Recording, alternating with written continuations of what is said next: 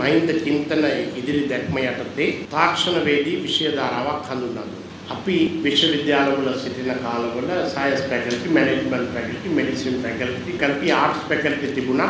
Technology faculty එකක් තිබෙන්නේ නැහැ. විශ්වවිද්‍යාල පද්ධතියේ විශ්වවිද්‍යාල 11ක තාක්ෂණික පීඨ දැන් තිබෙනවා. තාක්ෂණික පීඨ වලින් පිටවෙන පළවෙනි උපාධාරය ලබන වර්ෂයේදී තමයි පිටවෙන්නේ. එනිසා ලාංකීය නිදාස් අධ්‍යාපනයේ ඇරවුම් ලක්ෂ්‍ය ඇති වෙලා දරුවෝ විවිධ දක්ෂතා කුසලතා අත්දැකීම් පරිශ්‍රණ යනාදී සඳහා පෙළඹෙන පිරිසක් බවට මේ වන විට පත් වෙලා තියෙනවා